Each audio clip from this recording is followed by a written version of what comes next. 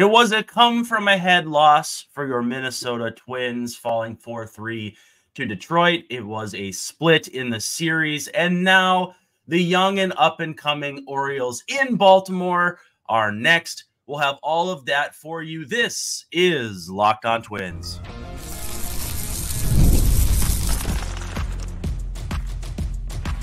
You are Locked On Twins, your daily Minnesota Twins podcast, part of the Locked On Podcast Network, your team every day. Hello again, and welcome back to Locked On Twins. I'm your host, Brandon Warne, and you can unfollow me on Twitter at Brandon underscore W A R N E. And joining me as he does at this time, Mr. Dave Brown at Answer Dave Brown on the tweets. Go give him a follow on the road to 1K. What's up? Oh, me, Dave Brown. Hi, Brandon. Hi, Twins fans. Uh, rough day today, but Yeah. they're not all going to be uh, come from behind gems. Sometimes they're going to come from behind and get you. And that's what happened. I uh I was gonna I was digging through. I have a small little bin of sports cards on top of my desk here, and I was gonna say, no, this Dave Brown, and I had a Dave Brown card set aside for that exact situation, but now I can't find it. Joke ruined, whatever. Um, thanks so much for making Locked On Twins your first listen every day. We're free and available wherever you get your podcasts, also on YouTube. So hi to the YouTube people. We love you. Please click like and subscribe. We've had some pretty good numbers on those recently, but if you can do that more often, we would also like that as well. Uh yeah, so be active. Leave us a comment, leave us a question, leave us a query. I think a query is a question. But uh and also we are part of the Locked On Podcast Network, which is your team every day. And just so you know, today's show brought to you by eBay Motors from brakes to exhaust kits and beyond. eBay Motors has over 122 million parts to keep your ride or die alive. With all the parts you need at the prices you want, it's easy to bring home that big win. So you can keep your ride alive at ebaymotors.com.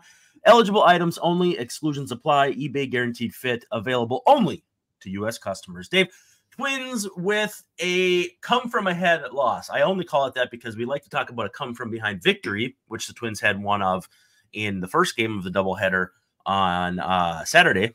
But uh, yeah, it was it, it was not soul crushing, but definitely disappointing. I think though, anytime you give up a homer to the present day version of Javier Baez, maybe things aren't going your your way, even if it was only three one at that point.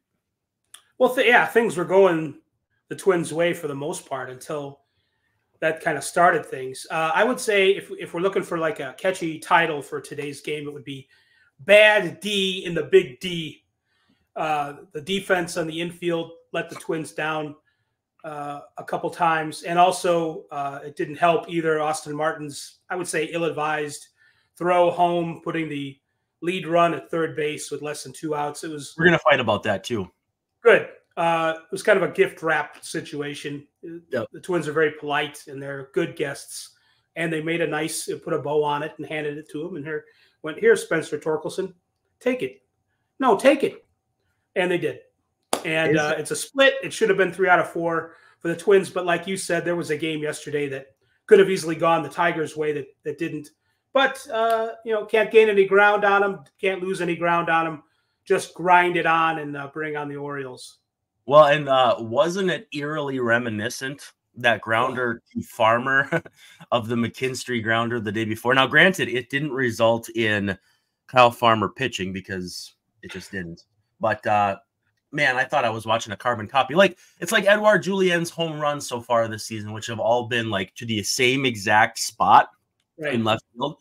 I felt like that play. It was like the bizarro cousin. Do you think that ball hawk Zack Hample is like he's going to start stalking Julien and sitting in whatever seat that is in every ballpark, waiting for his next home run? That's what I would do Yeah. if I were him. But oh, I you know the uh, the comparison to McKinstry's play yesterday, uh, I thought the same thing.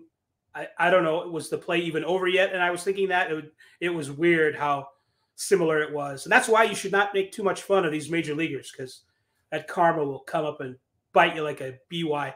You know, it's um, and also that there was a play that Willi Castro didn't make after Baez's home run that sort of started the parade of people on base, and it wasn't an easy play. I think Perkins was uh, there was a, a play that the, the, Tigers made later in the game. I think it was Urshela, where he was very aggressive on a short hop, and you could almost hear it in Perkins's voice. It's like, yeah, you got to be aggressive on those in between hops rather than waiting back on it.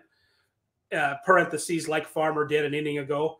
So yeah. uh, Farmer made a boo boo there, uh, and Willi Castro was only like an 84, 85 mile an hour hit uh, to him at shortstop that he didn't handle. If the Twins have, if the, the Twins make the plays that they can, and or have their regular guys in those positions, those plays get made and they win the game. So again, their depth has been pretty good to them so far. They've been able. Farmers hasn't had a lot of hits, but he's made some pretty good plays on defense. He's been okay there. Willi's been pretty good on defense too.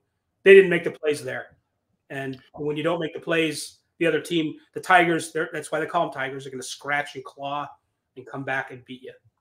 The Motor City Maulers did exactly that. Not exactly a mauling, I guess, but uh, four three final. Twins fall to scratching. Yeah, it's it's a lot more dignified and uh, more of an injury than an actual murder. So uh, yeah, the Twins fall to six and eight, five and four on the road. Tigers nine and six, three and four at Comerica.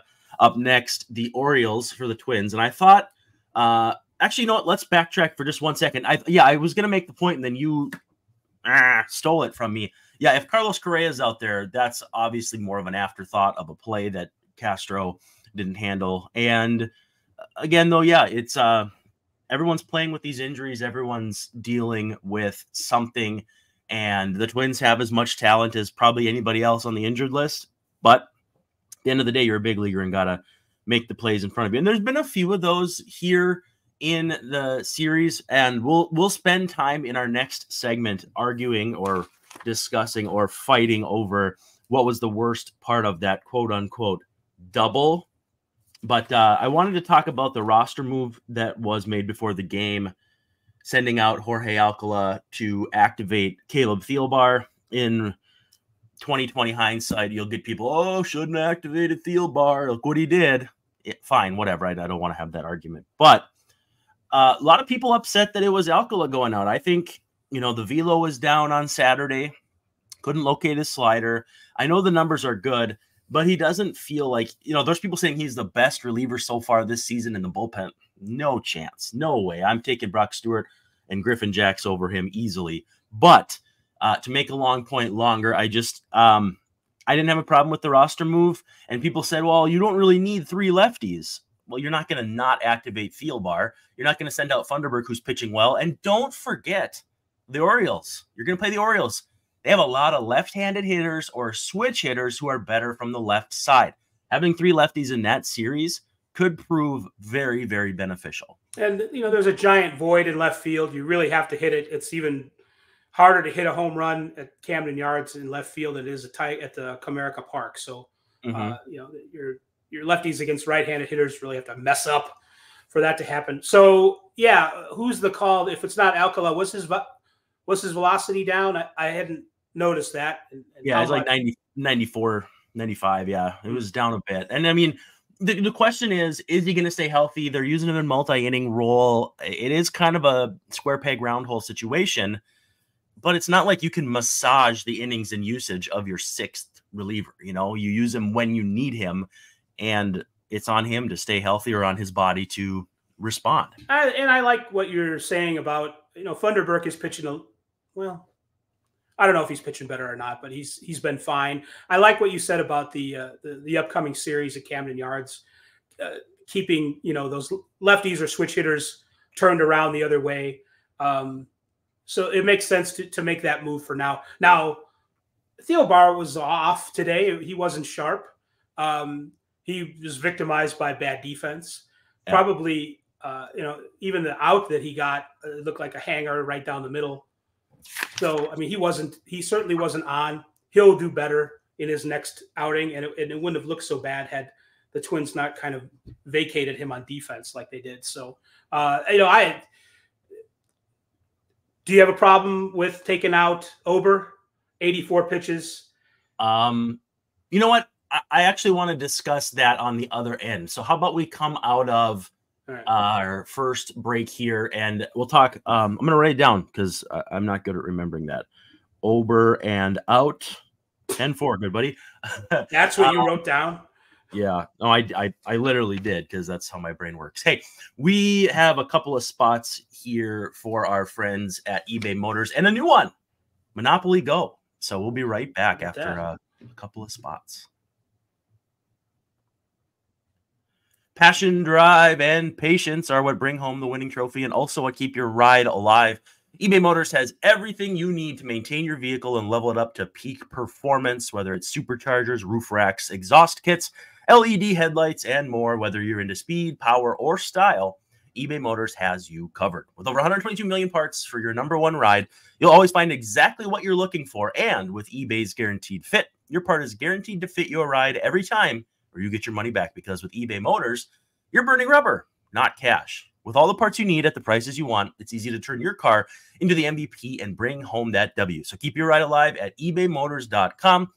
Eligible items only. Restrictions apply, but eBay Motors guaranteed fit is available only to U.S. customers. Now, Dave, I've been told I'm a competitive person. Do you do you find that to be true? Do you think? Um, I, I believe it. I uh, no, I wouldn't say overly competitive. So when you say I've been told I'm a competitive person, what what that means in my head is overly competitive, and I don't think you're overly competitive. You know, in a Michael Jordan, Shohei Ohtani's uh, translator kind of Ah. gambling sort of way. So Maybe- um, Maybe Oberly low with a B. Oberly. is that the transition we're doing? No, no. Actually, the guy I used to sit next to in the press box, his last name was Oberly. That's a that's a transition. Okay. Well, so yeah, I do have a competitive side. I think we all do. And my competitive side is a big fan of Monopoly Go. I'm sure you've Oh, heard of it. It's, Right. It's been downloaded over 150 million times. It's a great twist on Monopoly where you play on not one, but hundreds of Monopoly boards in crazy locations, building up amazing cities that bring you big money, but yeah, right. The best part is messing with my friends. I can charge them rent on my iconic properties, just like the classic Monopoly, but I can also now rob their vaults of riches for myself. And the leaderboards show me who the biggest Monopoly tycoon is. Maybe just a big target on your back. But it's not just my competitive side that loves it. You can team up with friends and people all around the world in timed tournaments to earn huge rewards. So get in the game and join your friends. Download Monopoly Go now, free on the App Store or Google Play. All right, Dave, we are going to talk about this seventh inning. Um, Bailey Ober goes out for the seventh, faces Spencer Torkelson, 10 pitch double. I don't know if I'd call it a ringing double, but yeah, yeah, it was hit it off the fence. It, Yeah, it I- enough. yeah, so I would say, you know, it was a uh not a booming double, not a maybe not, but it was well struck, struck, not cheapers brain. Come on. Uh, so anyhow, um, Rocco goes out and he, he signals, and I see him signal the righty, and I was watching but not listening, so I didn't know who for sure was warming up. And uh, boy, watching not listening, that's my wife would probably attest to that. Um, but he brought out Brock Stewart for Kerry Carpenter, and I thought, well, what about Caleb Thielbar here? Hmm. And Thank Couple you for reminding me. Yes. Couple different things I thought. One, you might get Kerry Carpenter out of the game, which in the seventh inning, eh, you know, pinch hitter. It's like Kyle Farmer for Ed Julien. Uh, you don't like it, but in the moment, it's it gives you the platoon advantage. But if this comes back around in the ninth, which uh, we didn't end up having a ninth, you've got Carpenter out of the game for a different hitter who's going to face you know whoever's closing for you in that moment. Um, most likely Jax, who ended up pitching anyway. I With hadn't that- even. Oh, sorry. I thought. Well, no, so with natural- that said, Thielbar, Thielbar not coming in, I thought, you know what? He hasn't pitched since spring training. They maybe wanted to ease him into a, a little bit easier of a situation, you know, starting an inning. And uh, that's what they did. Stewart did fine, all things considered, got a nice nifty one, four, three double play to close it out. But I almost wondered if Thielbar going there would have been a good move and then Stewart for the eighth. This is not a second guess, just a, eh, who knows? I think uh, I, I did not think about this in, in context of the seventh inning, but I did in the eighth, looking at who Thielbar was facing, and uh, he's not necessarily. I mean, the whole one out lefty thing that's an ancient history in Major League Baseball anyway. Yep. Um, but I thought, you know, these aren't the best guys for him to be facing. Uh, Vierling as a, as a pinch hitter, and Baez especially, and then Carson Kelly, you know, Greene kind of. So, um, I and now looking at it in the context of the seventh inning, I think maybe it would have made. I, I totally get where I imagine Rocco's coming from. Like you said, not wanting to put after a, a person is on base, you wanted to have Thielbar start cleanly. But just in terms of matchups, mm-hmm. I think a, a, reversal would have made a little more sense there. Now the whole, uh, it doesn't sound like you're necessarily uh, out on Ober. Uh, no. Going out of the, you're you're on board with that, and I am too. I think for two reasons. One, you know, 84 pitches, whatever. But that was a tough. I think it was a lot. I think it was 10 pitches. The at bat to Torkelson that ended up. Double was on the 10th one. Yep. Yes, it was a tough. Uh, you know, the, there was some effort exuded there, and I think it was probably a good place uh, to to let him to, to get him out of the game and, and let the bullpen take over. So, um, you know, if it had been sixth, I, I think maybe it would have been a little quick, but it, it was yeah. it was it was good enough, and they got out of that inning anyway, like you mentioned with the the, the nifty double play that that uh, um, Stewart initiated. That Stewart initiated one four three. So I don't see those very often. No, they're very pretty. You know, one four three, one six three, very pretty. Back to the mound, and and then a nice turn by Julien, who's continuing to play really good defense. At least uh, the eye test says so at second base. So um, yeah, he speared yeah. a pretty good liner too. He had a big jump, big jump on that. So, um, but then uh, you know, if you want to, so I think we agree basically on this. But then yeah. you know, what do you what do you think was the, the biggest misplay of that eighth inning? Well, I know we went. I don't want to throw the baby out with the bathwater, but we uh we did go back and forth. For me, the farmer misplay is just slightly worse than the throw from Martin and again, like he got a double. They called it a double for Canha, whatever, home cooking.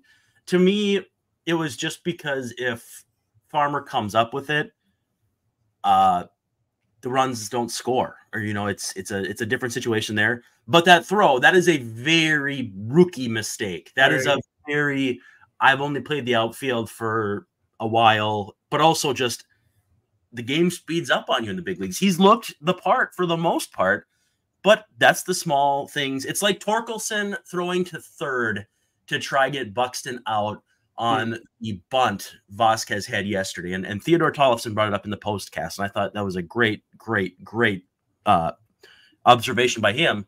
Is and I added, you know, Torkelson is a right-handed first baseman, has to get the ball, turn, and throw. You have to know who's running there, not only to third, or not, not only to first with Vazquez, who's Glacier's pace, but Buxton to third. It would have been nice to get that out, and I understand that, but you have Being to greedy. Yep. So that yeah. that was a so he's he's got a little more experience than Martin, and they're both better players for learning that lesson.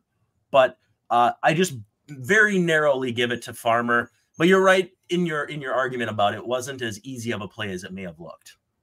Yeah, it, it was a, it was a harder play. It was a more uh, it was a I don't know a forgive more forgivable. The the, yeah. the thing that Martin did in throwing to the wrong base, you know, even though he is new to the outfield, I feel like that was preventable, a preventable mistake, something that might have changed the dynamic of the inning and how maybe the Twins get out of it there uh, mm-hmm. less scathed than they did. So, but uh, as Perkins said in the broadcast, the mistake with Farmer was not being aggressive enough mm-hmm. on the short hop and charging in a little bit. If he does, he probably makes that play because he, he has before. And he's a pretty deft fielder. So he's yeah. definitely capable of, of making those plays. But that too, and and uh, it, it, looked harder than it was. I feel, but I the play with Castro really started things off. It's it's we don't want to I don't want to underrate that one for how bad that's kind of where the bad stuff started with all the base runners. And that's a play that I think Correa makes, and um, maybe he makes it, and a lot of shortstops don't. And Willi didn't on that play. Yeah, and then the throw from left from Martin. Yeah, it, that's again, it's a rookie out there. If if Wallner's out there, you know, he's still rookie-ish, so who knows? Kirilloff, same thing. You know, Kepler and Wright, he doesn't make that throw, but apples and oranges. Yeah. But um, yeah, I think I think it's just the the slight growing pains you will have with guys playing not out of position so much, but being pressed into action in uh, less than ideal circumstances. Let's take a quick second and read a, a, word from Yahoo Finance, and then we'll come down the stretch. We will debate anything left unsaid about this game, and then prepare you for an Orioles series where the Twins are going to miss Corbin Burnes, And I, I would say I wouldn't necessarily say I've been missing it, Bob. It's uh, it's a good thing for the Twins. But first, a word. Today's show would not be possible if it weren't for sponsors like Yahoo Finance. Wouldn't it be great if you could see all of your investment and retirement accounts in one place? Well, you can with Yahoo Finance. You can consolidate your views from multiple accounts in one hub and access the expert analysis you need to tend to your entire portfolio with confidence. You want your portfolio to grow to deal with the rising cost of inflation, to pay off your debt, or view your mortgage. You can do pretty much anything standing in the way of you uh, with financial of your way in your way of financial freedom. Easy for me to say. Uh, with Yahoo Finance, you can get access to the news, data, and tools you need in order to help reach your financial freedom. So, for more than 25 years, Yahoo Finance has been the brand behind every great investor. Whether you're a seasoned investor or are looking for that extra guidance, Yahoo Finance gives you all the tools and data you need in one place. They're the number one finance destination, producing a holistic look at the financial news cycle, including breaking news, original editorial perspectives, analyst ratings, independent research, and customizable charts, as well as more. Securely link your brokerage accounts for a unified view of your wealth, including 401k and other investments. A comprehensive perspective is what sets apart great investors, and it's how Yahoo Finance ensures you have the insight to look at your wealth in its entirety. For comprehensive financial news and analysis, visit the brand behind every great investor, yahoofinance.com. It's the number one financial destination, yahoofinance.com. That's yahoofinance.com. All right, Dave, we're coming down the home stretch here, and I um, I think you also made a good point about that where Canha scooted into third base where it was one out too. So like that extra base with one out is a big deal from the standpoint of squeeze, sack fly. I mean, it opens up uh, wild pitch, that sort of thing. Yes, the kind of pitches you can you feel comfortable throwing, especially with Jax having, in the dirt, maybe. Jax having a sweeper, which could be hard to corral from yeah in the dirt. So I think I think that point is well taken because uh, one out, runner on second. You are kind of in that weird no man's land where you're obviously not going to bunt. You don't really know for sure how much you can push a guy second to home. And um, Torkelson, if I'm not mistaken, dunked a single into right, and Canha basically walked home. Um, you know, maybe maybe it's a little closer. I don't know. Maybe not at all. Maybe it doesn't matter. But you pitch the situation differently. You pitch everything changes. It's it's a what is that? Is that like a butterfly effect where things change? Yeah, right. And, and it's like the, the future is completely uh, irreverently, and that's almost the word, altered, uh, different than it would have been otherwise. So, yeah, you know, you can't. And sort of on that note, e- you know, even though all these things happened and the Twins lost the game, there was one other thing that kind of maybe go, hmm, sort of like a dog. What are you saying, Brandon? Um, when they walked uh, when AJ Hinch walked Wallner in the last inning after they clarified that. Yeah. There was a pitch clock violation that did not get reported. And so yeah, it almost felt like a Tony LaRussa situation where uh No, that you... wasn't the, the the Tigers doing that. That was uh, the manager doing no. that. It was a free no. ball. It was a free ball. So no, what had happened was there was a pitch violation to start the clock count. Uh-huh. So ball, what we thought was ball three, three was ball four. Wallner walks. So it wasn't a, a, managerial decision. It was a mistake on the part of um, uh, the, uh, who's closing for them again. I Jason keep saying Foley? like J- uh, Jason Foley. Sorry, the Ahmed Foley. Ahmed Foley. Yeah, My friend Foley. Oh, geez, hard hard throwing righty with uh, nasty stuff. Who was uh was dicing it up pretty good, but yeah, no no command there. But yeah, so it was actually a uh, pitch violation that gave the first ball. So I I don't know. When did they clarify that on the broadcast? Afterwards. Uh, Oh. Corey did after they came back from break after the final out. So they did clarify that. I, I was wondering too because yeah, it felt like, hey, did you Google Matt Wallner and the plate appearances he's been taking lately? Because, whoo, um, Well, yeah, anyway, I thought, well, hey, they're letting them back in the game, and that would have been very weird if the Tigers had lost, be- or you know, if the, the score even been tied because Yeah. of a decision that was Well, done. So more or I less. take it weird- all back, AJ. You're you're good. Bye. Well, more or less weird than McKinstry going into pitch with the team down four because you said that was weird too. I think it was. I, I think that Yeah. was uh, questionable. Uh, there's some kind of pitch violation with that too. Uh, Tony Yeah. Russa's rolling over uh, Astudillo's uh, grave or something like that. Not Yeah. him. Not him. The other guy, who was the White Sox player, who's like, uh, who had that moment last year or, or two year two years ago or whatever Oh. it was when when uh, not Astudillo, but the White Sox version of Astudillo. Your mean Mercedes. Yermín Mercedes, yes. Yeah, yeah. Yeah. Uh, just I thought you were going with uh, Steve Lyons there for a second, No, I would not go with Steve Lyons. pulling your pants down at first base. No, I would not do that. No, I mean, it might happen. I, I wouldn't recommend it. I'm not gonna. I'm not gonna do it on purpose. But No. yeah, that was questionable. I'm still questioning you, AJ, for that, but not for walking Matt Wallner, which is not what you did, as it turns out. Hey, I had to put some groceries away or chop down a tree or something. I, I missed that explanation. Sorry. Uh, you're the you're the modern day Jim Thome. It was. I was feeling like Jim Thome in the backyard. I'm like, I got to get you know, this is a, this is a rough loss for the Twins. I got to make my, myself feel like Jim Thome. I think I'm going to cut some branches, some limbs off a tree, and I You, did you've seen just that that. commercial? You've seen that What? commercial of him as Paul Bunyan back from like 2010 or 11? I I I have seen it.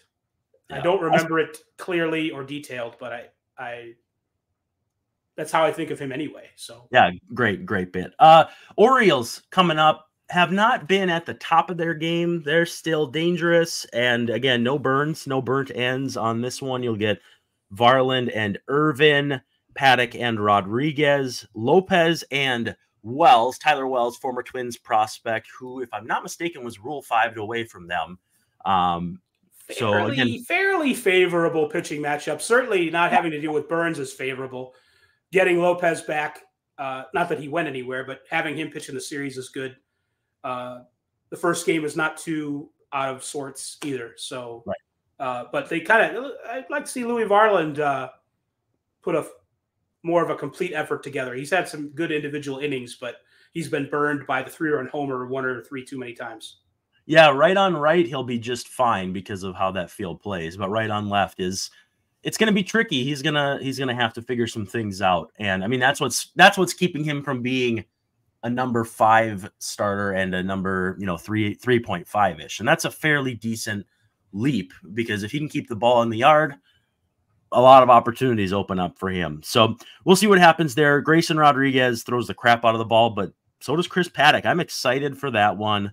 And then, yeah, uh, we'll see what happens. Obviously, the offense, eh, none of this will matter if the offense does what the offense has done far too often so far this season. And there's not a lot of reason to be optimistic because there's not a lot of reinforcements coming soon. Maybe Trevor Larnach in the short ish term, he's having a rehab stint down in Fort Myers that uh, at least started off well. I don't know if he's an option or if he's going to go straight to St. Paul. We'll see what happens there. Um, same thing with Josh Staumont. There was uh, Theodore Tollefson when he was on the postcast said he thinks Stalmont might be activated and optioned just to get him a, a bit of a ramp up to really getting big league ready.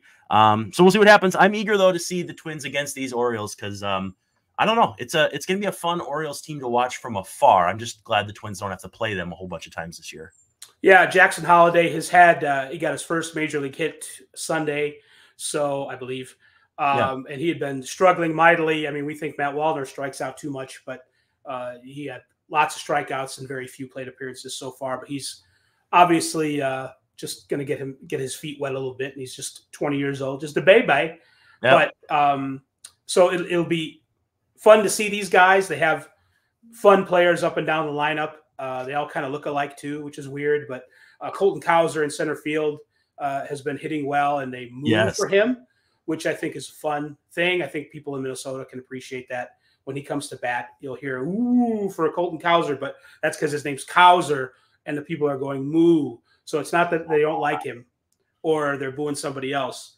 It's uh, kind of a fun thing that the Orioles fans have uh, started doing. So uh, a nice little. Uh, there's there's always something in these games that uh, uh, like the, the Tigers had that pizza stick you know the, the Orioles have their own business that they do. It's uh, fun to watch the differences between the teams when everybody gets creative, just as long as the Twins win. Yeah, uh, the Tigers were playing still DRE after every strikeout. I found that kind of curious. Um, I, I, guess I associate Dr. Dre with California more than. Than I swear we've had haven't I seen this conversation on Twitter about how he's not from Detroit, but he's from California, and he says so in his songs all the time. So, Compton. Yeah, I don't know if. Yeah, uh, that's California. That's not. Right. I've been to Detroit, and it's actually an underrated town. Yeah, a place that I would go uh, to the downtown at night, get a haircut, have a drink, whatever, whatever you need to do. Like downtown Minneapolis, it's uh, it gets a bad rap. Uh, yeah, it's a, it's a it's a fun place to visit. Uh, go there. I would say while you can do a do a road trip to Comerica see Detroit. Well, we're, we're going to give away this last minute. Ober and out, good buddy. I am losing my voice. Uh, hopefully, not losing my mind, but we will be back with another edition of Locked On Twins.